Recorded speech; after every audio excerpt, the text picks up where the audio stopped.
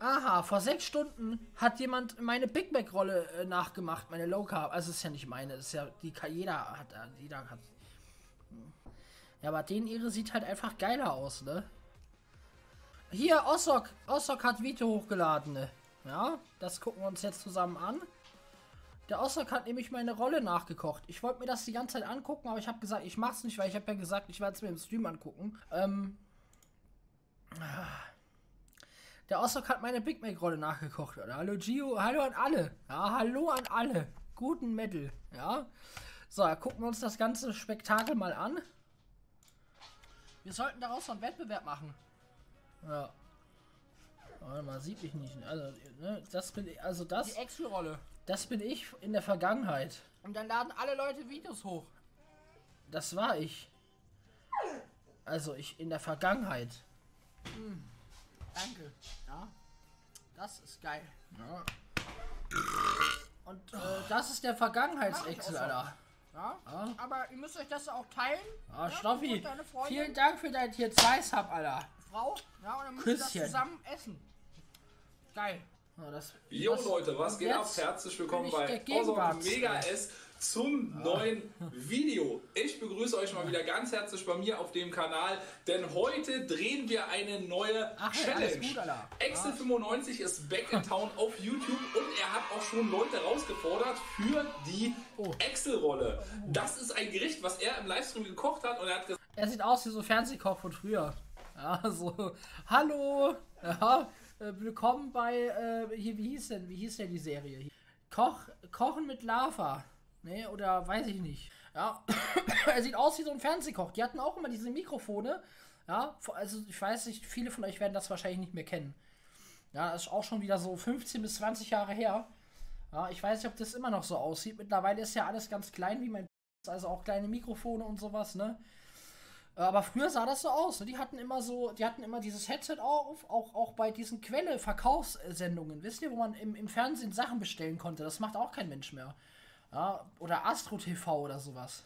Ja, die hatten früher hatten die solche Sachen auf, ne? Solche, solche Headsets. Jetzt nicht so große ne, mit Ohrmuschel, ne? Aber ja, sowas hatten die damals auf. Ja. Äh, genau, Teleshop. Ja, so Leute, heute kochen wir was. Ja, wir müssen erstmal hier unseren äh, unseren Lachs vorbereiten. Den habe ich heute Morgen frisch geangelt. Ja, ja, ja auf jeden Fall äh, wild. gesagt, ey Leute, wir machen daraus einen Contest. Habt ihr vielleicht jetzt auch an dem Einspieler am Anfang gesehen. Kocht das nach, esst das und ich reagiere darauf. Und ja, was sage ich dazu? Ich lasse mich nicht urlumpen und werde natürlich Noch dieses Gericht nachkochen. Ich habe alles besorgt für die klassische Excel-Rolle. Das gesamte Rezept werde ich euch natürlich nebenbei einfach einblenden, dass ihr wisst, was genau da reinkommt. Und ich werde das hier bei mir auf dem Tisch zubereiten mit der Kamera gleich, dass ihr alle Produkte sehen könnt. Und deshalb wünsche ich euch bei diesem Video ganz viel Spaß. So Leute, Jawohl. hier seht ihr die Zutaten. Oh, das ist guter Sucuk. Ja, das ist guter Sucuk. Das ist richtig guter Sucuk. Ja, das ist nicht so ein, äh, hier dieses Pseudo-Sucuk, das was die Almans machen, ne? Ja, die Almans, äh, die, die, machen, die schreiben Sucuk auf die Packung ja, und denken dann, boah, guck mal, wir haben Sucuk gemacht. Ja, wir sind Almans. Also diese, diese dünnen Würste, weißt du, im Supermarkt hier, das, was die Deutschen halt machen, so, ne? Die sagen, ja, geil, Sucuk, ne, ist ja Knoblauchwurst. Wir machen einfach, äh, ne, der Michel in der Metzgerei macht einfach Wurst und dann machen wir ein bisschen Knoblauch rein. Ja, aber Sucuk ist eine Kunst. Ja, original Sucuk vom Türken, Alter. So muss das sein. Ich mag das auch nicht. Dieses 50 Cent äh, Fladenbrot, Alter. Nee, auf jeden Fall, ich hasse auch das. Du gehst in Edeka und dann steht da in der Brotabteilung, ja, richtig geiles Ladenbrot äh, von, von der Firma Öztürk und Sülemann. Ja, guckst hinten drauf, äh, wurde das von irgendeinem, von irgendeinem äh, äh, Michael in, in, in äh, Bad Solingen gemacht, ne? So gefühlt. Ja. So richtiges Fladenbrot. Vom Türken, ja, vom türkischen Laden. Ja, auf jeden Fall Fladenbrot, Junge, das muss ordentlich gemacht werden. Ne? Das muss, äh, ja, da, da muss jemand äh, dran stehen, ja, der das auch kann. So, der das äh, so ganz traditionell macht, ne, wie früher. Ja. Natürlich darf das auch ein Deutscher machen. Ja, aber dann nur so, wie es eigentlich original gemacht wird. Ne, wisst ihr, so, dass ordentlich, äh, dass das halt gemacht ist. Also halt ordentlich. Ja, wie die das halt einfach früher gemacht haben. Für die Excel-Rolle. Excel95 hat in seinem Livestream, das Video verlinke ich euch natürlich auf Trovo und YouTube gezeigt, wie man dieses formidable Produkt macht. Also Meisterbäcker 95 hat zugeschlagen. Ja. Als allererstes haben wir hier so einen Fertig-Pizzateig. Äh, den muss ich mal aufschneiden. Kann ich mal ein Messer kriegen, bitte? Äh, Darf ich ganz kurz noch was zum Thema Pizzateig in Plastiktüten äh, äh, Tüten sagen? Ja, weil ich das gerade sehe.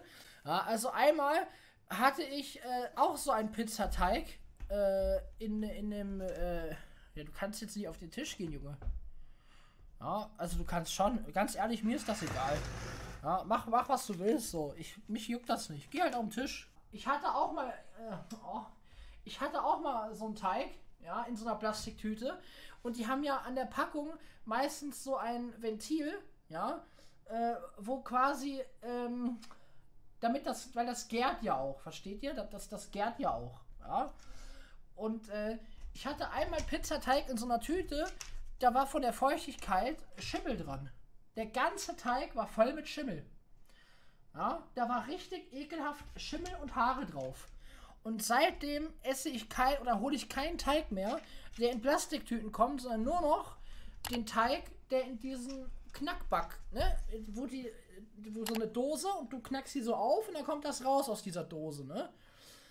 Ja, und seitdem noch das, nicht mehr äh, aus Plastiktüten, weil ich das richtig ekelhaft fand, ja, weil das hat anscheinend hat diese ähm, hat konnte das nicht richtig durch dieses Ventil Luft ziehen, weil das lag ganz unten in der Packung.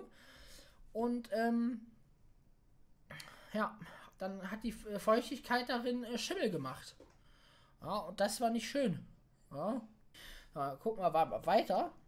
Der Pizzateig ist befreit. Wir rollen das Ganze hier Ah, auf ja. dem ja, Papier aus und ich hoffe, dass ich es so hinkriege, dass das nicht alles kleben bleibt und kaputt geht, denn wir wollen ja die Pizzarolle befüllen. Das ist jetzt ein klassischer American Teig. Ähm, ich weiß jetzt leider nicht, welchen Mm. Teig äh, Excel genommen hat, aber es war einfach so ein Fertig-Pizzateig. Kann das auch von gut und günstig gewesen sein? Weißt du das? Rewe war das, Von glaube ich, Rewe hat war jemand das. gesagt. Genau, von Rewe, der Fertig-Pizzateig. Ich Ja, habe jetzt den hier ich von essen, Alter. Edeka-Kaufland. Nachdem der Pizzateig jetzt ausgebreitet ist, hat Excel auf seine ja, Pizzarolle Zwiebeln Da! Stefan, vielen Dank für deine Rons, Alter. Ja, Die Pizzarolle ist fertig, meine Freunde. Und wir holen sie jetzt mal raus. Oha. Oha, sieht das gut aus. Und es ist extrem heiß.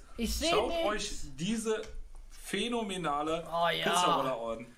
Und das ist Also der wenn Grund, das- Guck mal, das ist der Grund, warum ich Cheddar so liebe. Weil der so ein bisschen an. Äh, äh, ne, der macht so Bläschen und dann wird der richtig schön kross. Und, und das mag ich so sehr. Ja, also. Äh, oh, jetzt lass mich doch mal in Ruhe. Nicht Oh. lecker und geil ist, dann weiß ich auch nicht. Excel, ganz, ganz geiles Rezept. Ja, natürlich. Ja, Leute, ja auch, es äh, bleibt oh, der Moment Junge, der Wahrheit. mich Wir werden jetzt diese Oh leckere nein. Excel-Pizzarolle anschneiden und es hat Oh. eben schon im Ofen so geduftet und Ja. oh, dieser mal, Käse wie und Sucuk-Geruch. Wir schneiden das Oh, Ganze mal. Lass mich doch mal in Oh, Ruhe. hört ihr das Crunchen? Oh. Oh. Hallo Michael. Jetzt muss ich mal gucken, ob ich das für euch hinkriege. Das Rezept ist nicht vegan. Ja, das Oh. ist. Äh, guck mal, wie geil das aussieht. Mm, wenn das nicht Käse, Äh. Wurst und maximaler Ih. Geschmack ist, dann weiß ich auch nicht. Äh, Wir werden das Ganze jetzt natürlich noch probieren damit. und deshalb wünsche ich euch guten Appetit. Das nein. ist die Excel-Rolle. Ich bin auf jeden Fall Oh. gespannt. ob das- Außer ganz ehrlich, du hast echt Glück, ja, dass du, dass du, dass du deine Frau geheiratet hast, weil sonst hätte ich die geheiratet, Alter. Ja. äh, Rezept lecker ist oder nicht. Ah. Kinder? Ja, Tobi, ganz herzlichen Dank für diese Challenge Danke für und ähm, ja, guten Appetit. Mein Ohr. Ah. Ah. Ah. Ah. Junge. Ah. Jetzt, äh, Mit den Zwiebeln. ah, das, das aber, Jimmy. Ja, Ey, Leute. reicht's aber hier. Das solltet ihr unbedingt mal also- nachmachen. Das schmeckt fantastisch. Ich sehe den Chat nicht. Oh, Jimmy, also. Ich kann euch nur eins sagen, Wenn der dickste YouTuber Deutschland sagt, dass das schmeckt, dann hat er recht. Ja. Das schmeckt fantastisch. schmeckt das. Einfach Ja. eine 10 von 10. Mm. Äh, Kann man sich wirklich nicht jeden Abend gönnen, aber kann man sich auf jeden Fall mal gönnen. Ja, also die drei Käserolle, mega lecker. Kann man auf jeden Fall machen. Wenn man nicht auf die Kalorien achtet, dann würde ich ja, es bei den Kalorien, ja. Das nebensächlich. ist wirklich- Das schmeckt extrem stark. Pizzateig mit so viel Käse. Ja, Ja, das reicht doch jetzt mal. Axel hat es an einem Abend aber auch gegessen. Ne? Ja, das schaffen wir wahrscheinlich nicht in einem Abend. Aber dennoch, wenn euch dieses Video gefallen hat, Leute, würde ich mich wahnsinnig freuen, wenn ihr mal jetzt meinen Kanal abonniert. Die Verlinkung zum Originalvideo von Excel95 auf Trovo findet ihr in der Videobeschreibung.